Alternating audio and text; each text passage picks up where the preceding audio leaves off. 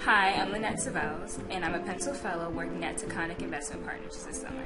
Initially, I didn't think that Taconic um, aligned with what I would be pursuing in my career, but I realized it correlated with a lot of things that I want to do, like architecture and construction. There's not a day where it's boring or where it's repetitive. It's, it keeps everything alive and interesting, and I actually was able to sit in on two meetings, and one meeting was specifically about architecture, and one meeting was specifically about construction, and that helped me um, become more well-rounded in terms of what I want to pursue.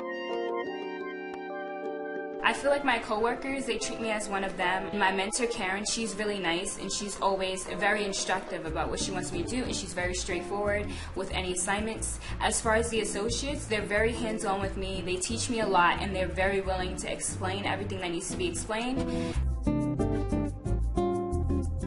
I'm actually in the fifth week of what is supposed to be a six week internship, but I actually got a two week extension from my business mentor, Karen, and I think that's great. I, I know that a lot of people don't get this opportunity, and I'm just really blessed to have this opportunity as a Pencil Fellow.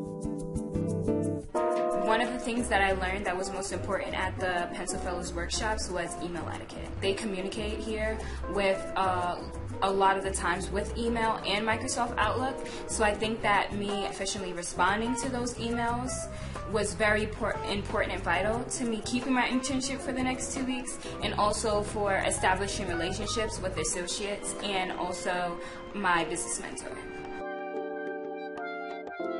It was very exciting being on a construction site. I did wear the hard hat. You know, a lot of people don't get to go on the site, so being there exclusively was really exciting. I got to go in um, places where everybody else is not allowed to go, and it, it was just really nice. It was amazing. I've never had that type of experience before, and I'm glad that I was here to experience it for the first time